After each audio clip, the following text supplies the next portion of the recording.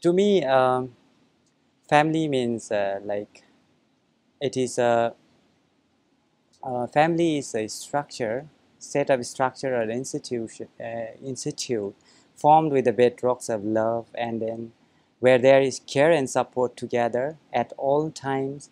And uh, when there is care and support of each other then this can be a family whether it be a biological or uh, family of choice. So i'm more comfortable with family of choice. So that's what i uh, feel about family